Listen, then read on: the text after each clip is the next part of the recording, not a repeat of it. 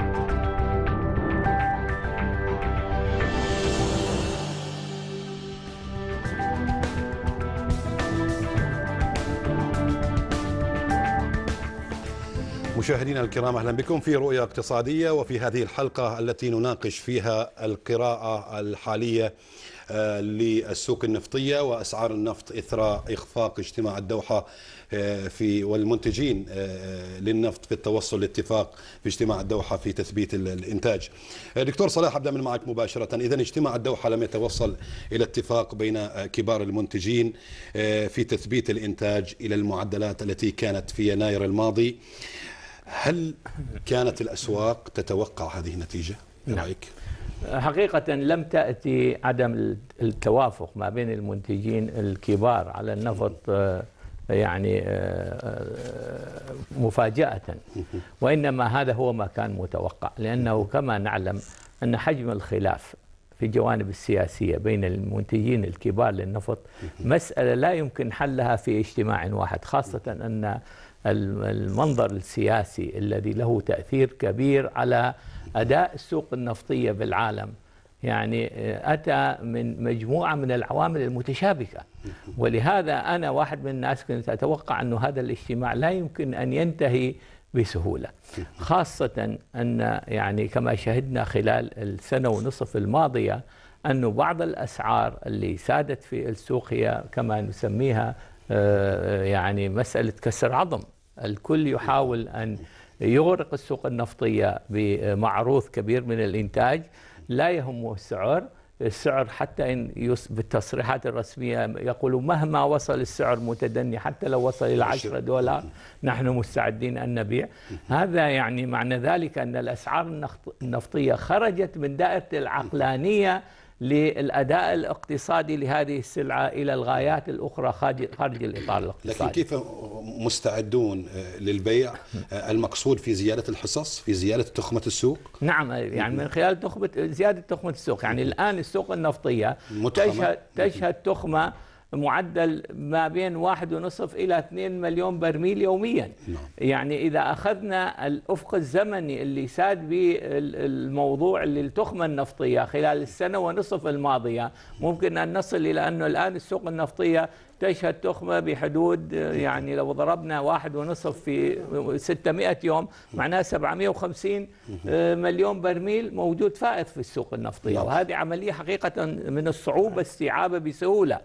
في ظل عدم تنازل أي من المنتجين الكبار حتى عن برميل واحد من حصصين وقضية تثبيت آه، الإنتاج لمعدلات يناير شيء و متطلبات السوق في خفض الإنتاج شيء آخر. حتى لو ثبت الإنتاج على معدلات يناير وبموجب الإحصائيات الرسمية المعتمدة تعد إنتاج يناير أعلى إنتاج للنفط في تاريخ إنتاج النفط في العالم. إذا لن يؤثر كثيرا في لن يؤثر كثيرا ولكن يعني وفق ما جاء في دراسة يعني منظمة الطاقة العالمية أن النفط سيشهد نوعا ما زيادة بالطلب بشكل طفيف.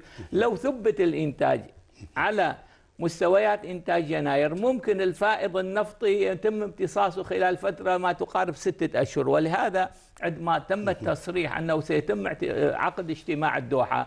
حدد له أفق زمني أن يجمد الإنتاج النفطي بموجب الحصص المعتمدة في يناير لغاية شهر أكتوبر لغاية شهر عشرة. نعم. وهذه الحقيقة جاية نتيجة لدراسات اكتوارية في هذا المآل.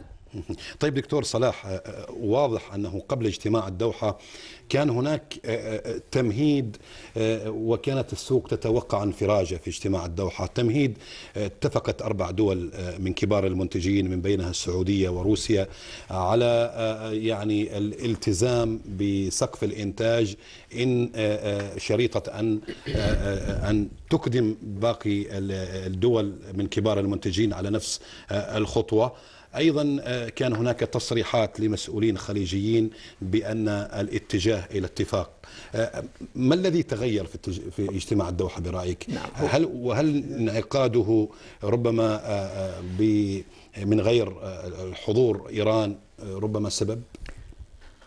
نعم يعني نحن إذا أردنا أن نقسم المنتجين اللي لهم ثقل أساسي في السوق النفطية العالمية. ممكن أن نحدد أن روسيا هي المنتج الأكبر في العالم تأتي بعد المملكة العربية السعودية لأنه روسيا تنتج بحدود 11 و4 بالعشرة مليون برميل يوميا والسعودية تنتج أيضا بحدود 11 مليون برميل.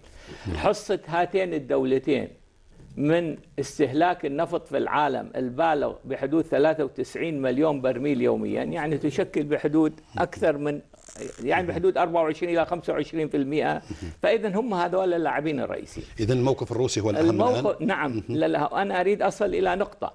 التفاؤل كان قائم الحقيقة على التصريحات اللي سبقت الاجتماع يمكن بأسبوع قيل أنه يعني هذا ما نتساءل عنه تصريح الآن. صحفي أن هنالك توجه للاتفاق بين الاتحاد السوفيتي والمملكه العربية السعودية على تثبيت سقف الإنتاج. وبدأ مؤشر و- الأسعار في الارتفاع طفيف نعم وبدأ بالارتفاع الطفيف نعم ولكن المسألة الأخرى المرتبطة بهذا الموضوع يعني المشاهد ل- ل- ل- لمشهد النفط يعلم أن العلاقة السياسية ما بين الاتحاد السوفيتي وما بين إيران هي علاقة يعني روسيا- ممكن روسيا، نعم. يعني روسيا وما بين إيران علاقة ممكن أن تأخذ طابع التأثير على إيران في أن تحضر الاجتماع وفي أن تكون مستعدة لأن تدخل في هذا الحوار، ولكن في اللحظة الأخيرة امتناع إيران من عن الحضور واصرارها على أنه هي سوف تستمر في رفع الإنتاج إلى أن تصل حصتها إلى 4 ملايين برميل إلى ما مع- قبل مع- الحظر. مع نهاية هذا العام، فهذا الحقيقة أعطى هامش نفسي كبير إضافة إلى الفشل بالاجتماع بأنه ال- ال- التوجهات لأسعار النفط يعني أصبحت آه، غير إيجابية. نعم أستاذ سمعان يعني الواضح أيضا أنه عقب الاجتماع لم يكن هناك زخم من التصريحات الإعلامية. آه، بدا المجتمعون في حذر شديد آه، من إظهار مواقف آه، قد تنعكس مباشرة على الأسعار آه، بالانخفاض أو بالتدهور آه، آه، الجديد. آه، وقلنا أن الأسعار بدأت في التعافي وصلت إلى حاجز 45 آه، دولارا. ما دلالات آه، هذا القلق من إعطاء آه، نتيجة الاجتماع زخما إعلاميا؟ آه، مما لا شك فيه أن المشهد النفطي في العالم تغير. نعم. وجميع المنتجين والمستهلكين والخبراء يبحثون عن وضع جديد يختلف تماما. لقد تغيرت قوة أوبك مثلا. وكانت أوبك هي تتحكم كما تريد. ضعفت اليوم آه، قوة أو تأثير أوبك بشكل عام. هذا أولا. وإذا بعدنا شوي عن المشهد السياسي وعمقنا أكثر في الأسباب. في أسباب لسه أخرى. يعني في سبب ما عادت المفاتيح اللي بت اللي بتؤدي إلى مراقبة سعر بيد مجموعة واحدة لم يعني لم تعد يعني ما كانت في منحنى بنفس النفط؟ بنفس الطريقة اللي كانت متحكمة قبلا. وذلك لعوامل عديدة وخصوصا منها طويل المدى ومنها ظرفي. يعني إنتاج الصخري إنتاج النفط الصخري في أمريكا غير غير اللعبة بكاملها. أنا برأيي هذه هذه واحدة من المعطيات. اثنين يعني أمريكا عم تنتج اليوم 9.5 مليون برميل. نعم. من من من النفط الصخري. يعني بدل ما تشتري صارت عم تصدر.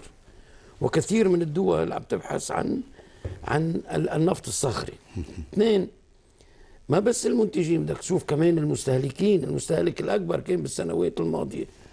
وهو الدولة الدرايفر هي هي الأساس. بالاستهلاك هي الصين.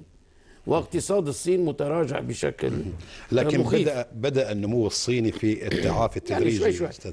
اللي بدنا نوصل له إنه التعافي رح يجي بيجي لكنه محدود وطويل المدى. هذا اللي بدنا نوصل له نعم. يعني ما لازم نتأمل. لذلك الأمال لم تكن كثير من الخبراء كان رأيهم إن نجح اجتماع أو فشل لا- لا يؤثر كثيراً في السوق. لا يؤثر. كما تفضل الدكتور صلاح من من من الأسباب هي التخمة الفائضة. يعني حتى لو بكرة خفضوا الإنتاج إلى بمليونين برميل يلي يلي هذا شيء كبير جدا. يبغى لك سنة تبلع التخمة اللي موجودة خزانات العالم والسفن. الكبيرة كلها محمله بال... ما كان منتظر. إذا التوازن في السوق النفطي سيأخذ وقتا طويلا. بعض الخبراء يتوقعونه ليس قبل لا 2018 لا، يعني أنا اللي بتصوره نحن عم نبرم اليوم على عم نبحث على توازن جديد بين أوبك وبين منتجين الخارج أوبك وبين ال ال يعني بد- بده يعيد في توازن. لازم يصير غير أوبك. لازم تصير أوبك أما موسعة.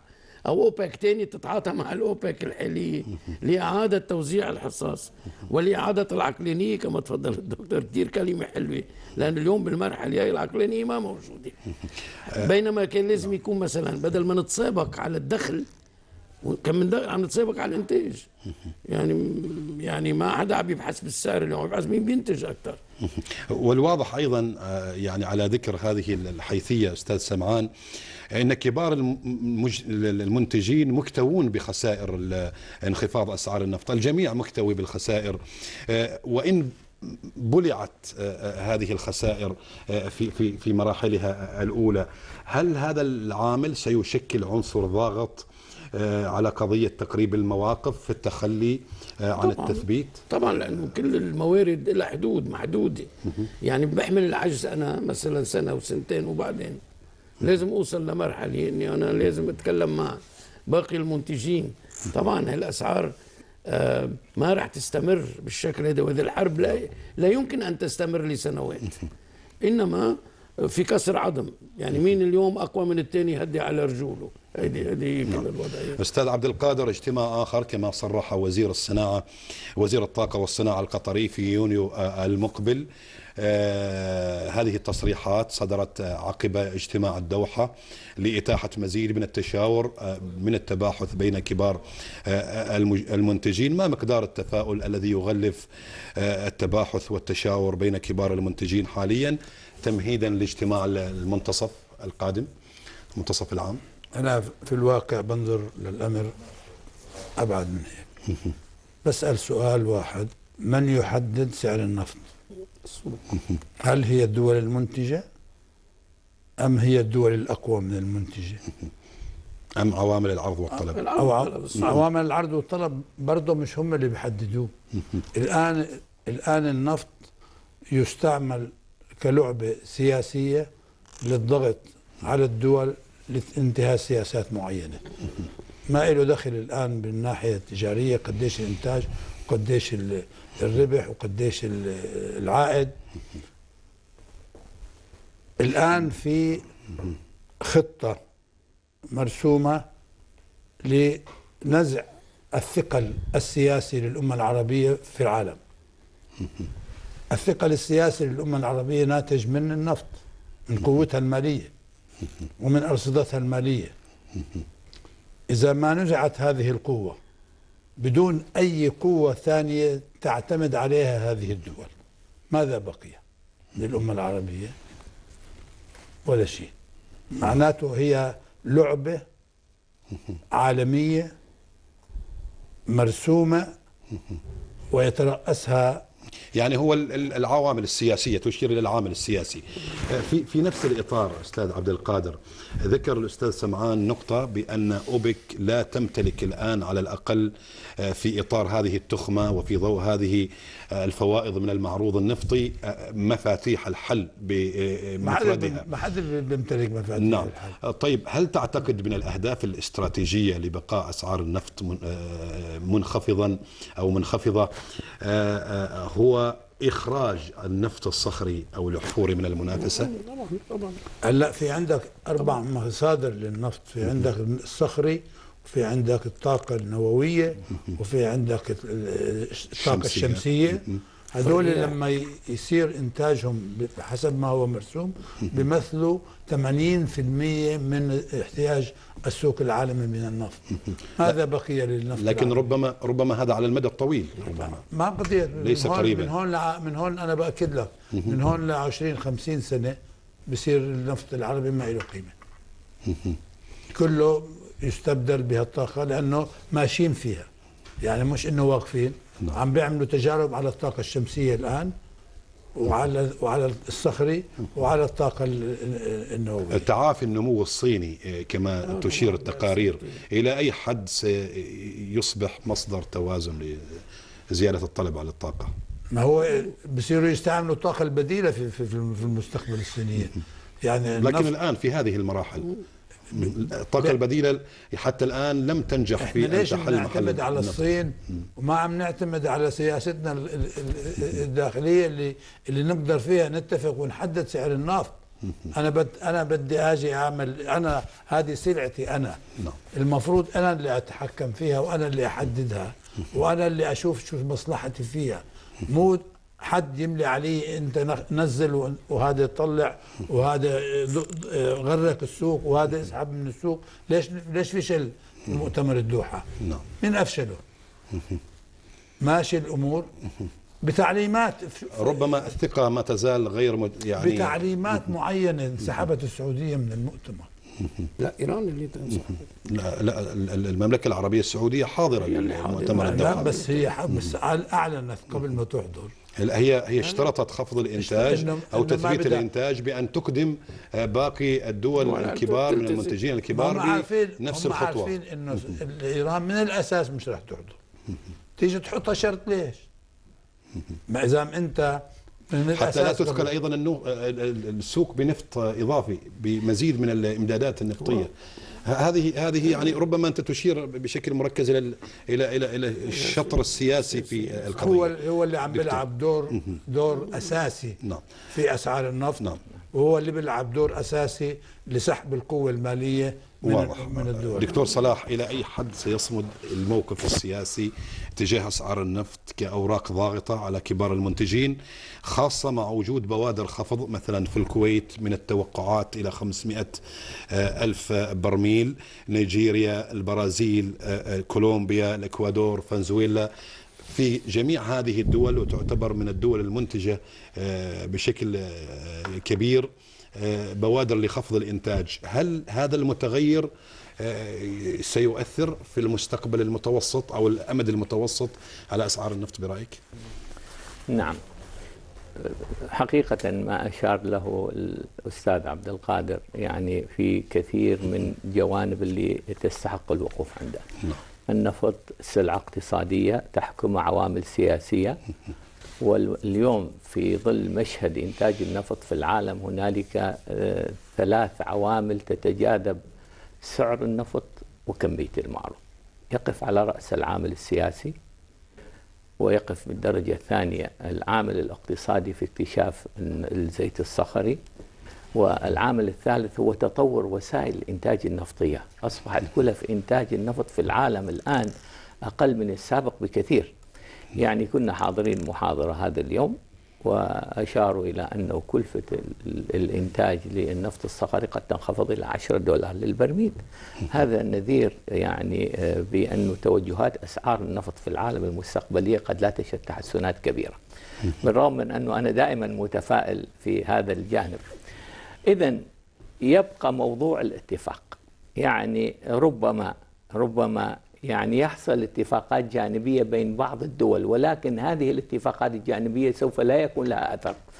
يعني أشار الأستاذ سيمون إلى أنه أوبك فقدت بريقة كقائد للسوق النفطية. الآن أوبك بحاجة إلى إعادة هيكلة. أوبك اللي تأسست في بغداد عن عام 64 كانت تقود السوق النفطية وتمسك عصا القيادة في ال- الجانب الاقتصادي للسوق النفطية لكن هل تستطيع بك أن تلزم كبار المنتجين جميعهم بالإنضمام إلى عضويتها؟ لا ولكن أوبك اليوم آه، بحكم انتاجه اللي يبلغ بحدود 32 مليون برميل يعني قد قد تشكل إذا ما توافقت الدول في أوبك وأسقطت العامل السياسي والمناكفات فيما بينه ممكن أن تشكل نعم قوة. لماذا أقدمت أوبك على زيادة الإنتاج؟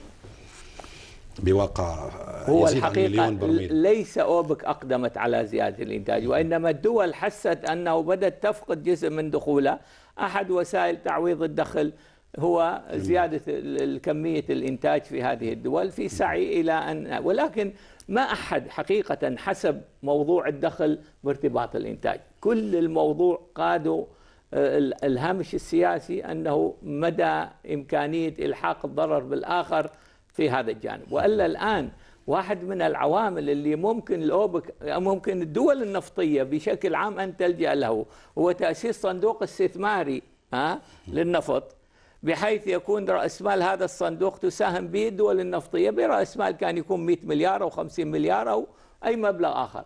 وأنه طالما ينتج النفط خليه ينتج وهذا الصندوق الاستثماري ممكن أن يستثمر بالفائض مجرد أن يستثمر بالفائض ويعيد تخزينه نعم. و... لا لا ويعيد تخزين الفائض لفترة بسيطة سترى أن سعر النفط يرتفع بشكل كبير. هذه الحقيقة ليس غائبة يعني حقيقة عن أذهانهم ولكن هم لا يريدون أن يخطوا هذه الخطوة. يريدون هم أن يسيروا بالسوق النفطية لتحقيق غايات غير اقتصادية. أما موضوع الضرر كثير من الدول لحق ضرر بدون سبب. يعني إحنا لو نظرنا إلى المشهد السي... ال- ال- إلى كم السوق النفطية. ستتمكن من امتصاص هذا الضرر؟ ما صلاح؟ يستطيع أن يعلم لأنه من يقود السياسة الدولية له غايات لا أنا ولا أنت ولا الأخوان الحاضرين يدركوها. يعني أنا يعني صباح هذا اليوم كنت أفكر في موضوع أنه طرح قبل فترة في الجانب السياسي موضوع سمي موضوع الشرق الأوسط الجديد أو الشرق الأوسط الكبير. قوة الشرق الأوسط مثل ما أشار له الأستاذ عبد القادر هو في النفط. إذا إذا ما تم يعني آه، تحجيم دور الإيرادات النفطية في بناء اقتصاديات هذه الدول فبالتأكيد سوف يحصل في هذه الدول كثير من المشاكل الاجتماعية والسياسية والاقتصادية التي قد تقود إلى تحقيق الغاية اللي بني من أس من أجل نظرية الشرق الأوسط الكبير أو الجديد. نعم.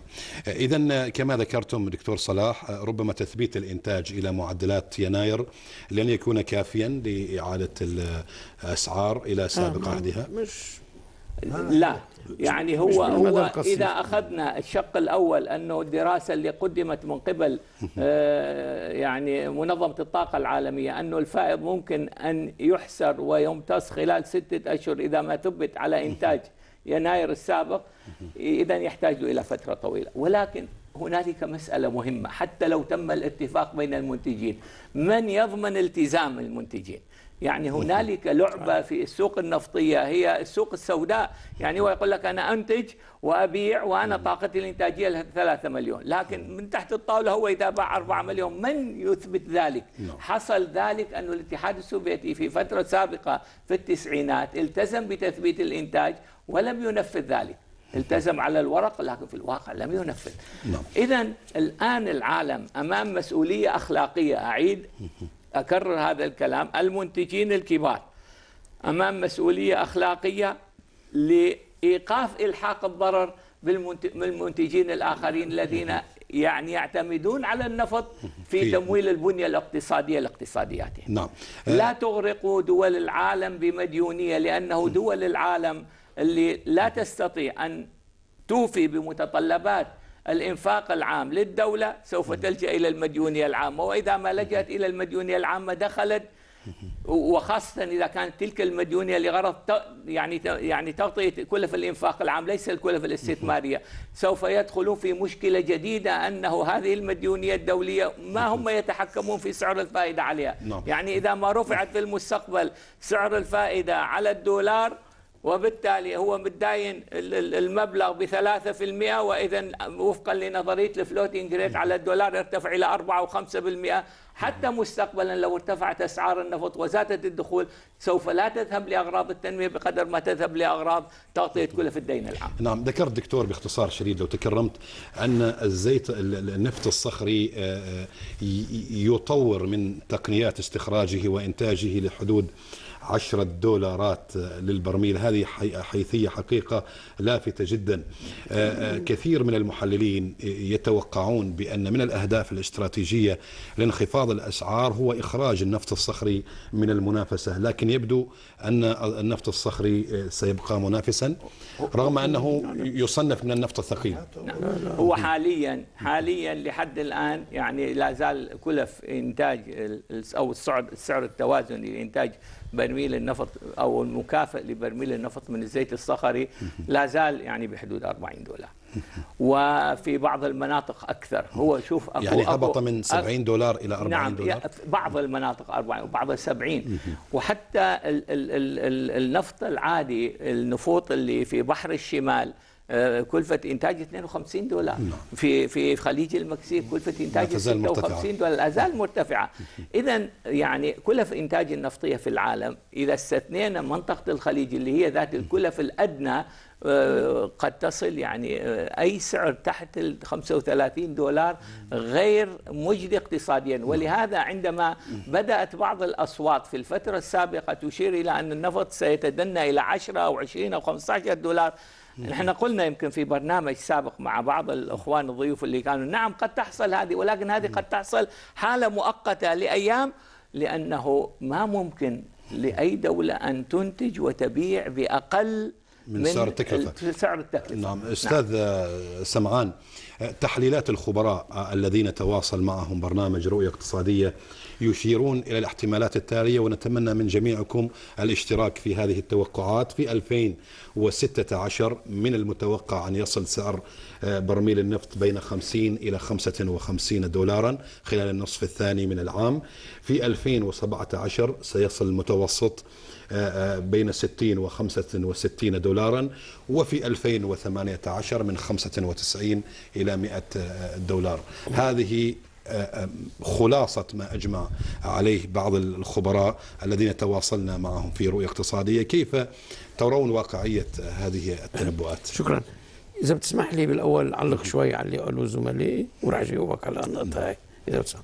اولا بدنا نكون حذرين بتحليلنا والا بنصير نخطئ ب- بإيجاد الحلول نعم. للمشاكل اللي نحن فيها. مما لا شك فيه إنه في أسباب سياسية للأزمة. لكن أنا برأيي ما في مؤامرة as such. يعني ما في قرار لتدمير جزء من الناس بالعالم إن كانوا عرب أو غير عرب. المضررين المتضررين من أسعار النفط ليسوا العرب فقط. نعم. المتضررون هم روسيا هم إيران نيجيريا على باب الإفلاس فنزويلا مفلسه يعني ماني شايف هيك ال- السلطة الرهيبة اللي عم تأمر بهالأمور هاي خصوصا إذا بدنا نبحث النفط الصخري لأنه اقتصادي بحت يعني أنا إذا دولتي لو أنا ببلد عم بعمل دول صخري غير دولنا وأمرتني حكومتي وقف ما بوقف أنا أو زيد ما بزيد. يعني أنا عم بشتغل تجاري بحت نحن ما تنبهنا. وكنا عارفين إنه الإنتاج الصخري رح يزيد بأمريكا 5 6 ملايين برميل برميل باليوم. ما ما حدا اكترث وهذا عنصر قوي ما بقول أنا إنه العامل السياسي منه مهم مهم جدا. لكن بدنا نزيد تحليلنا أكثر في العامل الاقتصادي أيضا. وجود هذه في الفوائد العوامل من النفط الاقتصادية. الأخرى نعم. هلأ تن- تنعلق شوي على على تكلفة ال- ال- إنتاج. لا يوم كان سعرنا نحن ب كان سعر ال 110 تنقول أو 120 دولار للبرميل كانت كلفة ال ال الإنتاج الصخري بحدود 60 70 دولار. يوم هبط السعر صاروا يدوروا على وسائل أسرع. أما أنه يوصل لل 10 دولار هذا شيء من المستحيلات يعني أنا م... ليش؟ لأنه تكلفة أرخص تكلفة كما تفضلت دكتوري عندنا. تكلفتنا نحن بنعرف كلنا كل دولنا بين 25 و 35 دولار. كيف بالاحرى بيجي واحد يعني يقدر ينزل تحتنا للعشرة دي؟ لا ما راح تصير هاي. هاي وحدة. بما يتعلق بال... بال... بال... بالتأملات للأسعار المستقبلية. مع احترامي لكل خبراء النفط. ولا واحد منهم بيقدر يجزم أي شيء أو أنه شايف نور لأبعد من ستة شهور اليوم. أبدا. لأن لأن العناصر تتغير؟ عم تتغير كثير عندك العرض والطلب. عندك التخمة. عندك الكساد. الاقتصادي. عندك السياسة مهمة كثير كما تفضل. ال- ال- عندك الطاقة البديلة كمان علما بعده تأثيرها خفيف. لكن عم تزيد أكبر دولة اليوم بالعالم عم ترسمل في الطاقة البديلة هي الصين. يعني قريبا جدا استثماراتها بالطاقة البديلة والتشجيع اللي عم تعطيه لمواطنينها تيستعملوا هي والهند. شوف ما ذكرنا الهند. والهند هي الأمل الثاني الكبير أنه يحسن الأسعار. كلهم هدول عم يشتغلوا على أمور تانية بديلة. ما بشوف أنا في خبير اقتصادي اليوم بيقدر يجزم لأبعد من ستة شهور. ولستة شهور حسب رؤيتنا نحن. حيضل لو- السعر يتراوح. حتى لو وقفوا الإنتاج حتى لو جمدوه. حصل اتفاق في حتى لو المقبل اتفاق. ما. منا شايفين نحن سعر النفط. بي بيزيح عن بين 35 و 45 دولار للفترة الآن كله متعلق ما بس بالسياسي متعلق بكلفة الصخري وبالنهوض باقتصاد الصين وكيف راح تتصرف يعني أنت تميل مع عوامل العرض والطلب. طبعا طبعا طبعا طبعا نعم. طبعا. بي- بيتأثر بالسياسي كثير لكن ما السياسي اللي بتتحكمه يعني هناك بوادر واضحة أستاذ سمعان لخفض الإنتاج في الكويت كما ذكرنا في نيجيريا. إنتاج آه، زيت الكويت اليوم كولومبيا، ورجعوا خلاص الاضرابات الحمد لله. ورجع زيت الإنتاج الإكوادور فنزويلا. يعني هل تتوقع ربما هذه الخطوات قد تؤدي على المدى المتوسط آه، رفع الأسعار أستاذ عبد الله في فرد في. فرد في فرد آه، حل لتعافي الأسعار. وهو اتفاق بين الأوبك وبين المنتجين خارج اللي خارج الأوبك. الكبار. يلي يلي خطوه الدوحة خطوة ممتازة. من اي ناحيه صحيح ما حسنت الأسعار ولا ردتها لوراء لكن هذه. أول مرة بيجتمعوا وبيتكلموا تيشوفوا الوضعية الجديدة اللي هن موجودين فيها. برأيك ما هي أهداف الاجتماع الاستراتيجية أستاذ عبد القادر؟ اجتماع الدوحة. هل هو مسألة التقاء كبار المنتجين تجسير ثقة آه، ربما تمهيدي؟ المعلن لتحديد سقف اجتماع. آه، تمهيدي سياسي اقتصادي ربما لمرحلة ما بعد يونيو. يعني لحد ما هذا الهدف. بس أنا برجع بقول إنه ليش انخبط وتخربط سوق النفط في هالفترة الأخيرة مع الأحداث السياسية اللي موجودة في في المنطقة. المنطقة؟ نعم. شو. شو العوامل اللي خلت سوق النفط يصير فيها. الارتباك هذا بهالشكل وبهالأسلوب هذا طيب إرجاء أي اتفاق حول الحصص الإنتاج حتى يونيو القادم إلى أي حد برأيك متصل بالحوار السياسي القائم حاليا بين نفس الأقطاب المنتجين الكبار بشأن قضايا المنطقة وخاصة الملف السوري ما هو كمان ال- ال- اللي ما بيكون معي فهو ضدي. أنا ما يعني أسعار النفط والإنتاج ما صار هو الهدف ال- ال- ال- ال- ال- الحقيقي لحرب النفط. هي تكسير رؤوس معينة في المنطقة. هذا ال- الهدف ال- الهدف الأساسي. هلأ كسب المواقف السياسية تقصد؟ هو يعني أنت أنا بدي أضغط عليك بوسائلي حتى تخضع لما أقوله وحتى تعمل شو اللي بدي إياه.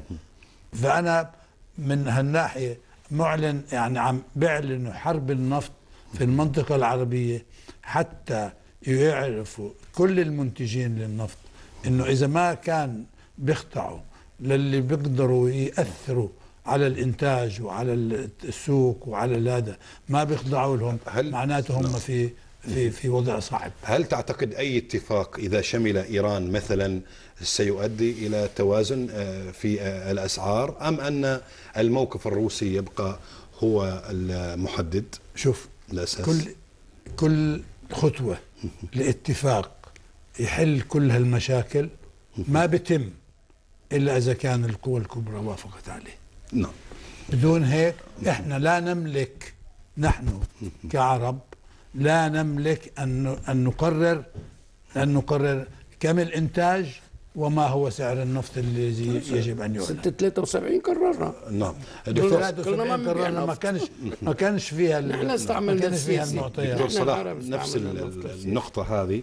أي اتفاق حو- حول الحصص آه، القادم؟ هل متصل بالحوار السياسي القائم بين الكبار بين الأقطاب الذي يشير إليها؟ أي اتفاق. يعني يخلق هامش نفسي يحرك السعر ايجابا إلى أمام ولكن هذا التحريك مؤقتا يرتبط بماذا يحصل من تطورات في الجوانب الأخرى؟ يعني كما حصل الآن عدم الاتفاق خلق هامش نفسي نزلت الاسعار 6% اليوم السوق رجع بدأ يعيد توازن نفسه لأنه نحن في مرحلة الحد الأدنى للسعر العالمي وفق سعر التعادل لك- لكلف الإنتاج. فكذلك الحال بالنسبة لهذا الموضوع. نعم. تفضل أستاذ. شكرا.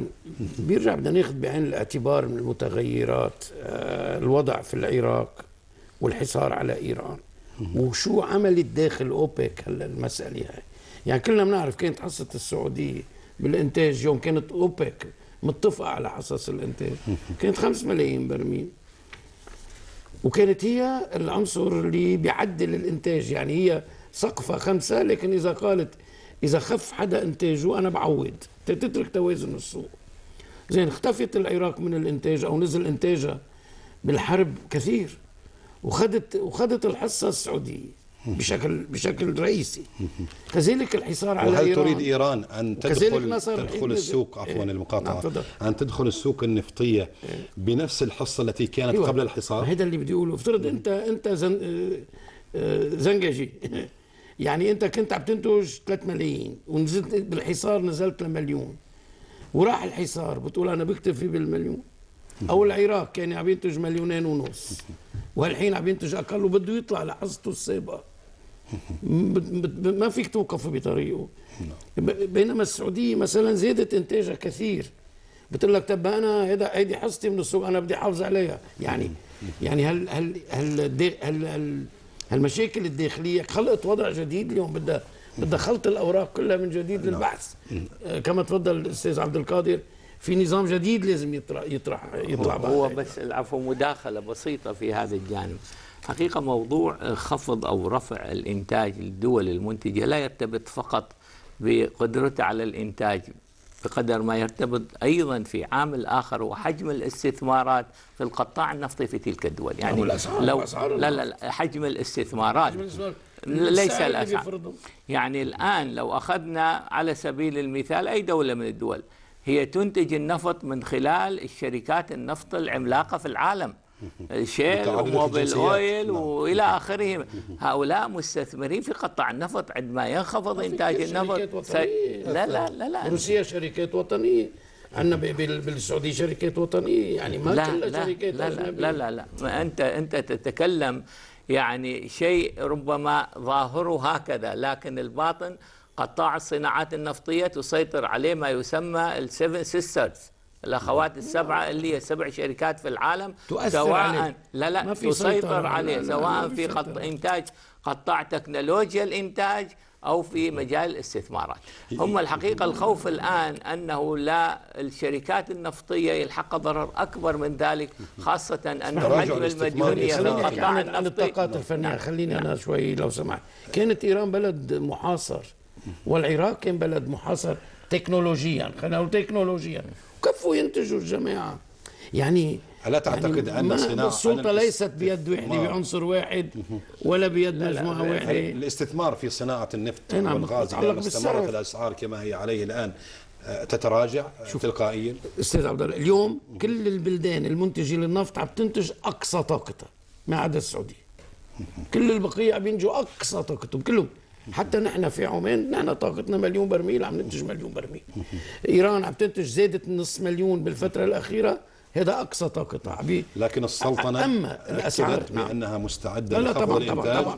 من طبعاً، 5 إلى طبعاً، 10% إذا اتفق المنتجون على على سيدي السلطنة السلطنة هي الصوت. الهادئ. نعم. هي العقل الهادئ. إن كان بسياستها الخارجية أو بسياستها النفطية وهذا شيء معروف عالميا. الاتزان والمنطق والعقل هو عم يطلع من من من عمان. آه، أستاذ عبد القادر بعيدا عن العوامل السياسية دعنا في العوامل ال- ال- الاقتصادية الآن التي يمكن أن تعيد أسعار النفط إلى آه، آه، التعافي التدريجي ولو المرحلي نتحدث عن المدى المتوسط والبعيد. يعني ال- الجميع خاسر سواء البل- البلدان المنتجة للنفط أو البلدان الصناعية المستوردة للطاقة. العوامل السياسية التي من المتوقع أن تشكل يعني مصادر أو عناصر ضغط كبيرة لتوازن السوق. آه، برأيك آه، أسمع منك الإجابة بعد هذا الفاصل. مشاهدينا الكرام أرجو أن تبقوا معنا.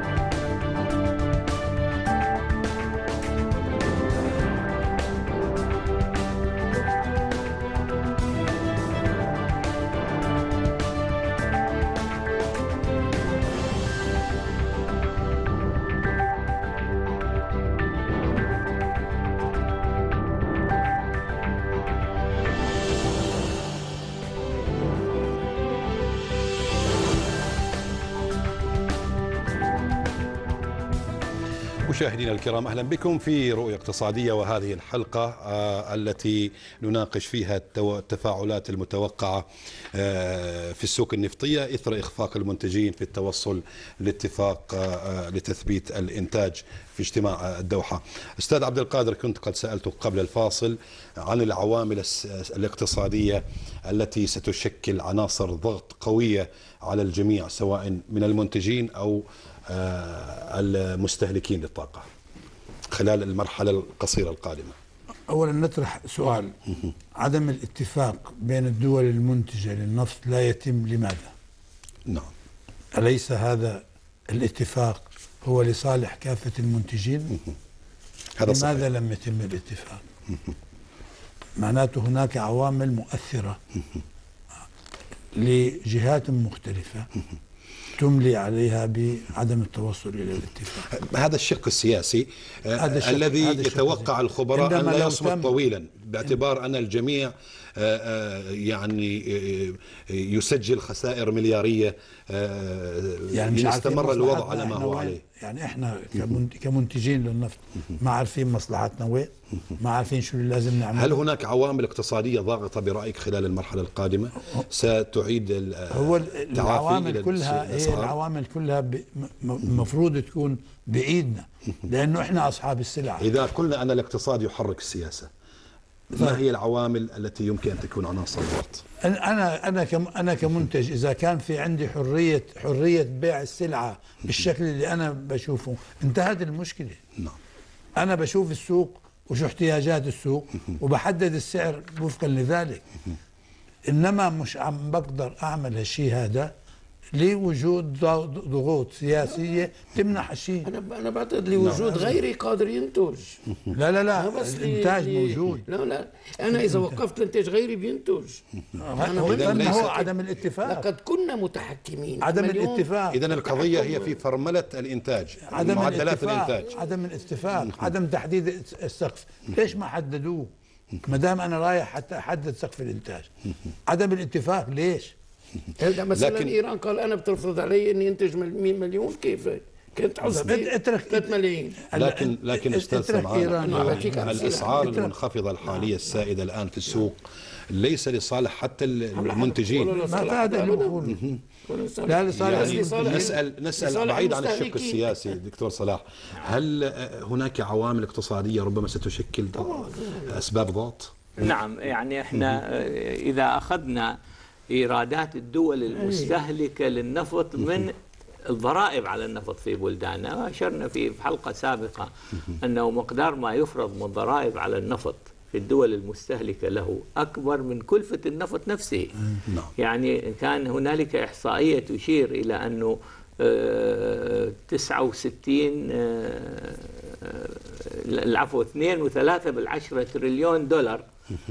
تم تصدير نفط من قبل الدول الأوبك خلال فترة ست سنوات آه، وفي نفس الفترة حجم الضرائب المفروضة على هذا الإنتاج كانت تبلغ بحدود 6 تريليون دولار.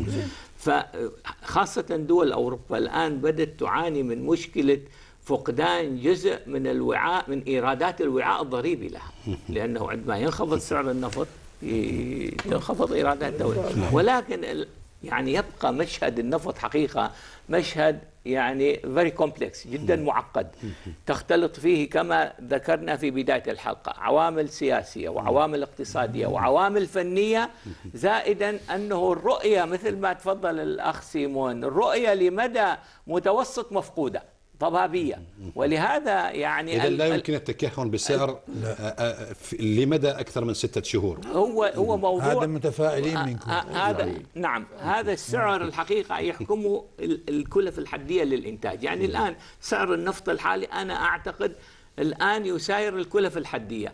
أي توجه قليلة من على النفط على النفط في. العالم وسحب جزء من الفائض يحرك السعر إلى أعلى. ولهذا يعني حسنا فعلت السلطنة عندما بنت الموازنة على سعر 45 برميل. تقديري 45 لأنه حقيقة أكثر من دراسة قريناها في الجانب الاقتصادي أنه يتوقع مع نهاية هذا العام أنه سعر برميل النفط 50. يتراوح من 50 إلى 60 دولار وهذا ما ذكرناه في البرنامج يعني نعم اذا اذا. التحليلات نعم. ربما تكون نعم. أقرب إلى الواقعية أستاذ عبد القادر ذكر الدكتور صلاح نقطة في غاية من الأهمية بأن العامل الضاغط في الشق الاقتصادي هو تراجع الاستثمار في صناعة النفط والغاز للشركات الأجنبية للشركات المحلية في الدول المنتجة وخاصة أن معظم الشركات المستثمرة في هذه الصناعة هي شركات وطنية سواء للمنتجين أو المستهلكين. ألا يشكل هذا التراجع عامل ضغط اقتصادي كبير؟ هو المفروض يشكل. هو المفروض يشكل وتبنى السياسات. عليه اذا بالتالي. إذا نظر للموضوع من الناحية الاقتصادية البحت المفروض يشكل لأنه هذه الشركات ال ال ال ال وبها موظفون من الدول المنتجة ومن الدول المستهلكة وهدفها الربح وهدفها وهدفها إنه يكون في عندها إنتاج نفط مستقر ومحدد الدخل. إنما لا تستطيع أن تعيش على تقلبات الأسعار النفط النفط لأن لا تستطيع أن تبني سياسة للشركات اللي هم مستثمرين وقائمين عليها. انما إنما العامل السياسي والدول التابعة إلى هذه الشركات لابد أن إلا أن تخضع لدولها. هاي المشكلة. هذه المشكلة. القطاع المصرفي باعتبارك قريب آه، قريبا من آه، من القطاع المالي. آه، هل سيكون له تأثير مباشر آه، إذا ما استمرت آه، أسعار النفط على ما هي عليه في موضوع التمويل؟ القطاع المصرفي لا يستطيع لا يستطيع مثلاً. ان يضغط. القطاع المصرفي بده الأمور تزدهر وتستقر. ويكون كل الأوضاع بشكل عام جيدة وملائمة للعمل المصرفي. النشاط الائتماني. وملائمة للعمل المصرفي. بهال إنما الجو المحيط الآن لا يتناسب العمل المصرفي لأنه عدم الاستقرار الاقتصادي في أي بلد لا يمكن أن يكون لصالح العمل المصرفي. نعم. آه، دكتور صلاح تفضل أستاذ صلاح. إذا بتسمح لي بس أعلق على الاستثمار بالمنشآت النفطية الاستثمار بالمنشآت النفطية له غرضين ما غرض واحد. غرض المحافظة على كمية الإنتاج. يعني إذا ما استثمرت بالنفط حيخف إنتاجك. هي وحدة وبتستثمر تزيد إنتاجك.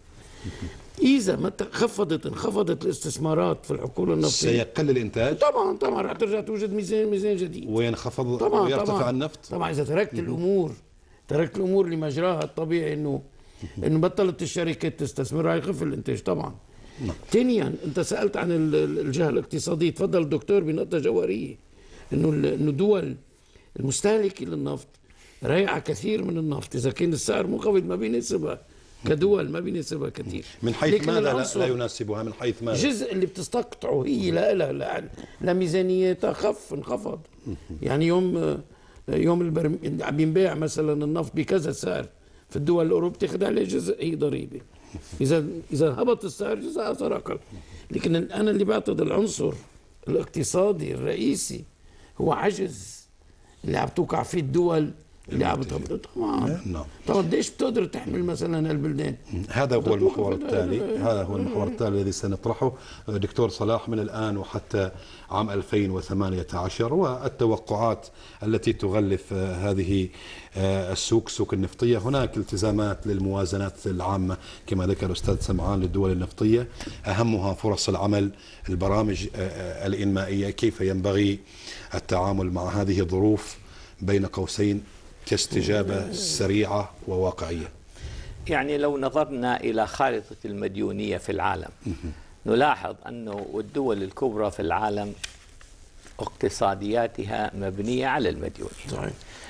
الدول النفطية حقيقة ومنها دول الخليج هي الدول الوحيدة اللي نسبة المديونية فيها منخفضة جدا. يعني أنا يمكن يحضرني ذهنيا مجموعة من الأرقام.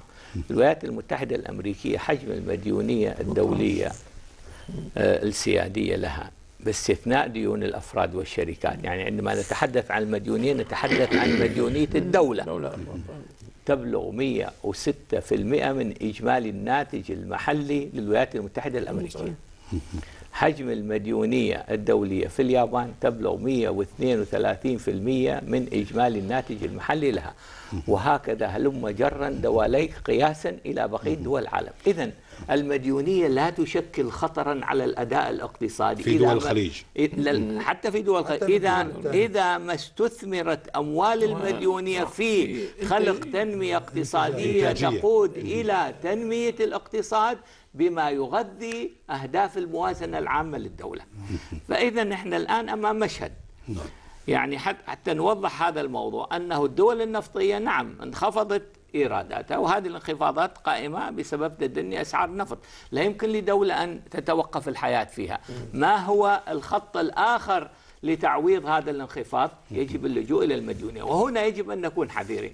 أن هذه المديونية التي يجب أن تبنى يجب أن نسقط من حساباتنا أن هذه المديونية يجب أن لا تكون فقط لغرض أن أدفع راتب أو أن أبلط شارع. يجب أن أدعم القطاع إنتاج. الإنتاجي وأهداف التنمية بحيث تخلق على المدى المتوسط والطويل تنويع اقتصادي لموارد بديلة تعوض على النفط لأنه قد لا تعود أسعار النفط إلى سابق عادها إذن اللجوء خلال إلى- الأربع أو خمس سنوات اللجوء إلى القادمة. التمويل والاقتراض من أجل إيجاد تمويل. تنويع اقتصادي الاقتصادي. نعم هل تتفق مع هذه الرؤية؟ نعم. 100% بالحقيقة طيب أنا القطاع الخاص؟ عندي نعم. نعم, نعم. عندي عندي ملا... ن... يعني نحن علينا درس ناخذ درس نحن إنه نوضع نفسنا بأسوأ الحالات هذا توقع أسوأ الحالات أهين من توقع أحسن الحالات اليوم. نحن علينا نبني حساباتنا أنه ممكن النفط يبقى لفترة سنة بحدود 30 دولار خلينا نقول. نحط هيدا أمامنا. ونشتغل على أساس أي شيء بيحدث حيكون خير لنا أحسن لنا.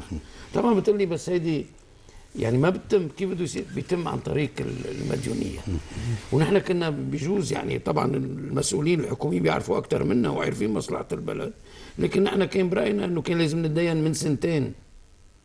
يوم كنا نحن معززين وقويين بنتدين من سنتين 20 مليار دولار مثلا ونحطهم تحت ريحنا. لاغراض التنمية؟ يوم يجي. إجت الأيام هاي كنا بنقدر آه، نسبة أما الدرس الرئيسي نحط حالنا بأسوأ الحالات. تا إذا إيش ما حدث يكون ونستدين للأغراض التنموية وللتنويع الاقتصادي ونباعد المشاريع اللي غير مثلا يعني مستعجلة. مثلا نستثمر بالسياحه نستثمر بالزراعة. ما بالزراعه بالغذاء. القطاعات قطاعات. الحقيقية إيه نعم هم حددت مثلا في السلطنة خمس. قطاعات. إيه بس ومنهم ومن الخمسه تعدين. ومن ومن الخمسه الأسماك، بالزراعه السياحة. بالغذائي. الزراعة غير غير. بالغذائي بال بال بال وقامت الحين دو شركة ضخمة قامت الحكومة لتأمين ال- العجز بالأمن الغذائي يلي هي للدواجن والبقر والحليب والألبان يلي ماشية الحين. هيك استثمارات هي هي الم- إنه ليش طيب،؟ آه، ليش أستاذ عبد نستدين والقطاع الخاص ليش ما إحنا نيجي نعمل معه حوار ونحدد المشاريع اللي يجب أن تعمل في القطاعات اللي السياحة بالتعدين بالأسماك. نيجي نقول له إنه هذه المشاريع يجب على القطاع الخاص إنه يكون في يستثمر فيها. يستثمر فيها. ويعيد جزء يدفع؟ كبير من استثماراته في الخارج ربما لتوطين الاستثمارات. في في مق- في الرؤية. هذا كم يبلغ الاستثمار القطاع الخاص المحلي في الخارج؟ لديكم تقديرات مثلا يقال. إنه 7 مليار.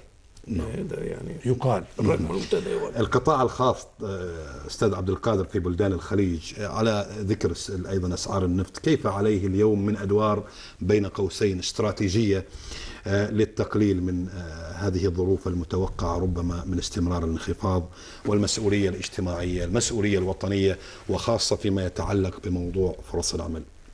في غاية من الأهمية لأنه ربما ال- المعدل التراكمي للباحثين عن عمل في تزايد وربما فرص آه، العمل المتوفرة إذا ما استمرت أسعار النفط على ما هي عليه على القطاع الخاص أن يقوم بزمام المبادرة فيها. حتى نشوف القطاع الخاص أصلا شو مساهم في ال في ال في, في الإنتاج.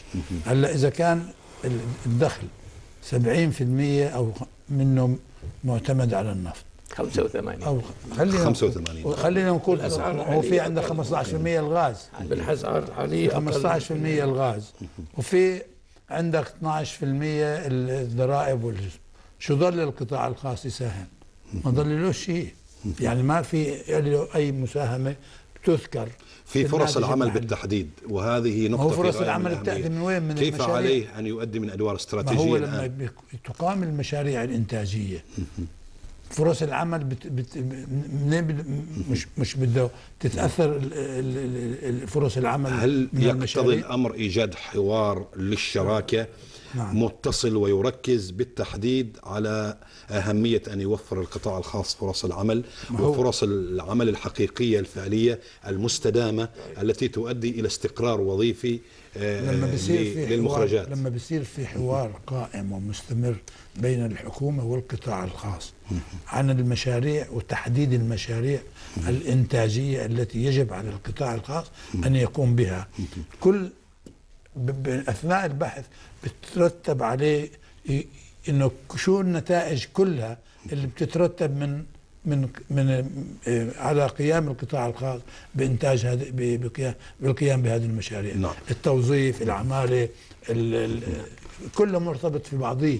المهم هي المبادرة المبادرة في في في في إنك تقوم في مشاريع إنتاجية وما تروح تركز لي على مشاريع على التجارة والأمور الاستهلاكية. لماذا ذهبت اتجاهات التمويل لدى القطاع المصرفي إلى القطاع العقاري بشكل كبير وملفت خلال السنوات الماضية رغم أن هذه السيولة النقدية ربما لا توجهت إلى قطاعات إنتاجية برأي كثير من الاقتصاديين آه، وهذا أنا كانت طالبت أفضل. فيه.